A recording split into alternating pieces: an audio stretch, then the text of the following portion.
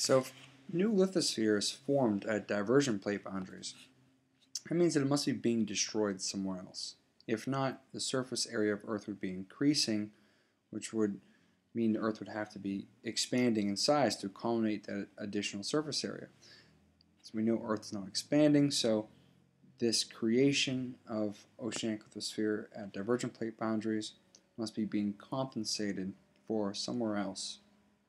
And where that occurs is at the third type of tectonic plate boundary, which are convergent plate boundaries. There's two types of lithosphere, oceanic and continental lithosphere, so therefore there are three types of convergent plate boundaries. We can have oceanic lithosphere converging with continental, oceanic lithosphere converging with oceanic, and finally continental lithosphere converging with continental lithosphere. We're first going to take a look at those convergent plate boundaries in which oceanic lithosphere is involved.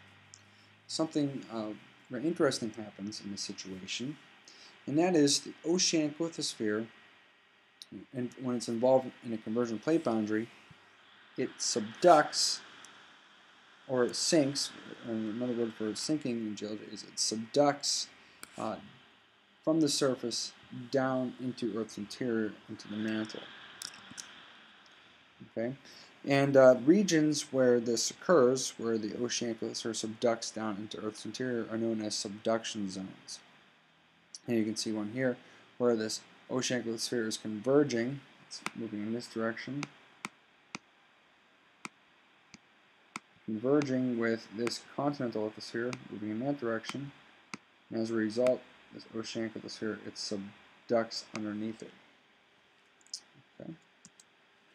So there are several features that are found along every subduction zones, and those are deep ocean trenches, volcanism, and large earthquakes. Uh, the first type of subduction zone we're going to look at is one which occurs whenever we have oceanic lithosphere converging with continental lithosphere. In this case, oceanic lithosphere always subducts under continental lithosphere. Why? Well, it's because continental lithosphere has this thick continental crust. That's uh, relatively low density rock, mostly granite. And because it's low density and it's clear and it's uh, very thick, it's too buoyant to sink. And so continental lithosphere never subducts, never sinks. Once at the surface, it remains at the surface. That's why the continents are so old.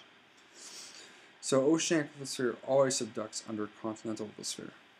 And we can see the three features that are found along every subduction zone. We have the deep ocean trench running along here. We have the volcanism. Okay. And we can't physically see it, but we have earthquakes that occur. Earthquakes occur because this overriding plate it gets flexed down with, with this subducting uh, oceanic lithosphere and it gets flexed down and eventually it snaps back up to its original location and that motion of that overriding plate rebounding or snapping back up is what generates the large earthquakes.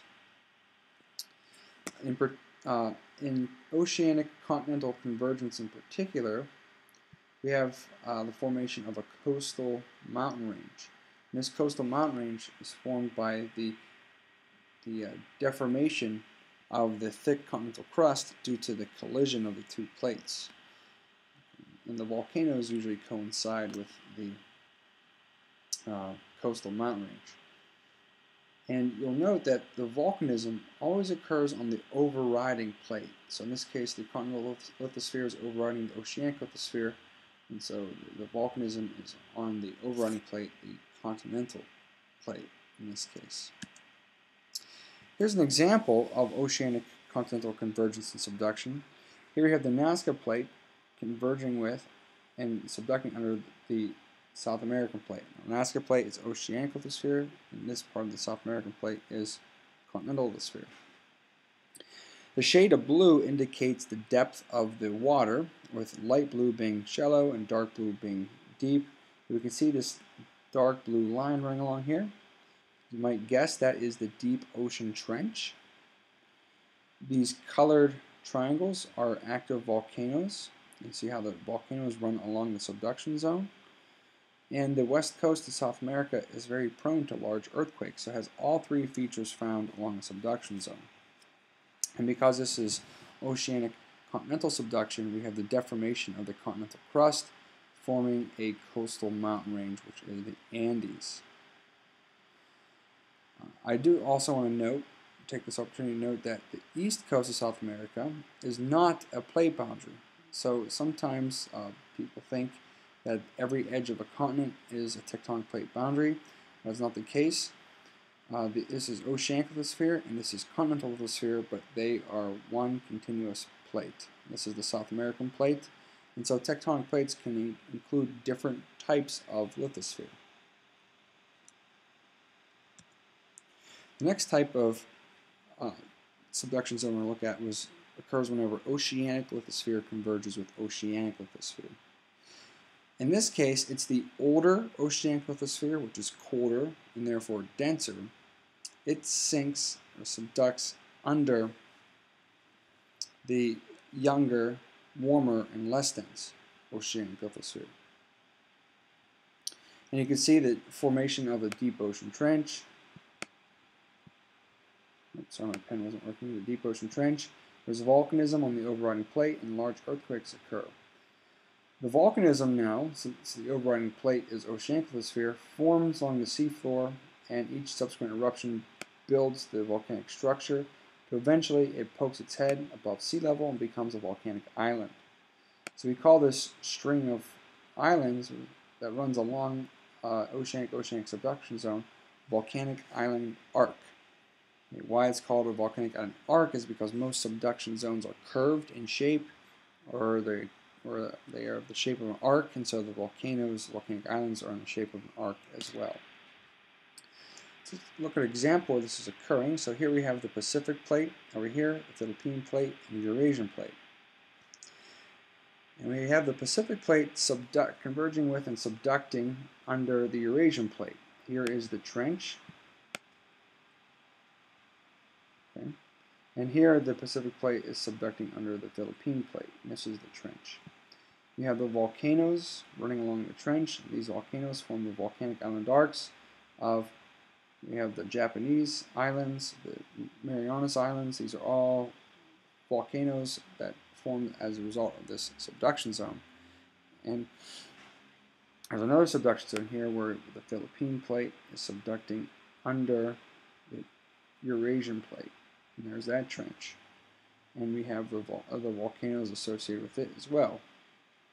And this area is also prone to large earthquakes. This is the location of the 2011 Tohoku earthquake, which uh, generated the tsunami that uh, destroyed Sendai, Japan. So we have all the features of a subduction zone. We have the trench, we have volcanism and large earthquakes. And in oceanic-oceanic uh, convergence of subduction, the volcanism produces what's known as volcanic island arcs.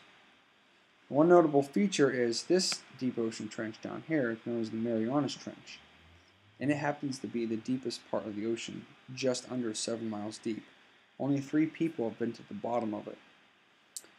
Uh, uh, two, two gentlemen in the late 60s or early 70s, 70s, I believe, went down in a submersible called the Challenger Deep. And then more recently, in 2013, James Cameron privately uh, funded an expedition when he went to the bottom of the Marianas Trench. So more people have been to the bottom. Uh, more people, sorry, have been on the moon's surface than have been to the deepest part of the ocean. So a little summary of subduction zones. So when you have oceanic continental convergence and subduction, oceanic lithosphere always subducts under continental lithosphere. When we have oceanic oceanic convergence and subduction, the the older, therefore colder, and therefore denser oceanic lithosphere subducts under the younger, warmer, less dense oceanic lithosphere. So we mentioned that volcanism occurs along subduction zones, but the question is why does volcanism occur here? And this question eluded geologists for a while. And the answer is quite surprising, and it's, it's very un unintuitive. Uh, the reason for this volcanism is water. So this oceanic lithosphere formed at a mid-ocean ridge from molten rock cooling and solidifying. So what this means, uh, what happens is there's water gets trapped in the rock at a molecular level. So you have the molecules that are bonded together forming the, the crystalline solid that is the rock, and there's in there there is a sporadic water molecules. Okay, so just water molecules distributed throughout there. So it's trapped in the rock. The water is at molecular level. Well, that water is then transported down into the mantle by the subducting oceanic lithosphere. And once the oceanic lithosphere gets around 100 kilometers deep, the pressures and temperatures down here are very large.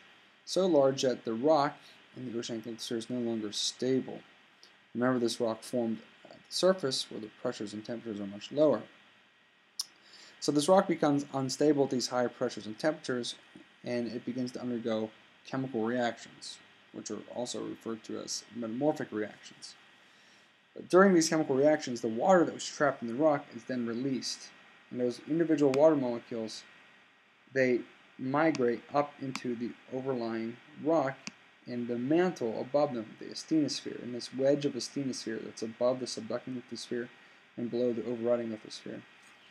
And what happens is that water that percolates up into this mantle rock, it lowers the effective melting temperature of that melting rock. So this rock isn't heated up, this rock, the pressure this rock is under isn't changed.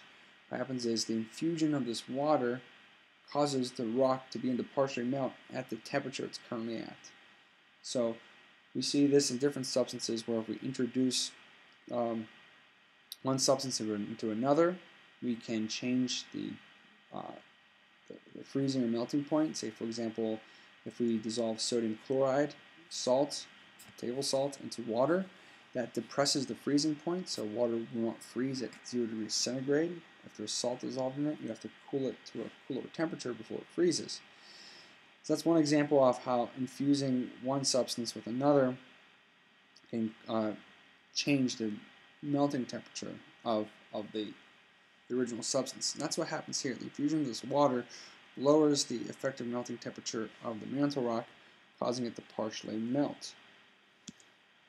Okay, so now the production of melt through this partial melting uh, results in liquid rock that is less dense than the solid rock around it. So that liquid rock begins to ascend towards the surface, where it eventually will pond and form magma chambers and while it's ponding in these magma chambers, pressure begins to build until the pressure is significant, significant sorry, enough that it can break through the overlying rock and result in a volcanic eruption. So the reason why volcanism form, uh, occurs along subduction zones is because water is being transported down into the mantle by the subducting oceanic lithosphere at subduction zones. Here is uh, a graphic of a subduction zone where you have the oceanic lithosphere converging with what it looks to be uh, continental lithosphere. Oceanic lithosphere subducts underneath. We have uh, metamorphism occurring in the subducting oceanic lithosphere, releases the water, which causes partial melting, which results in the volcanism.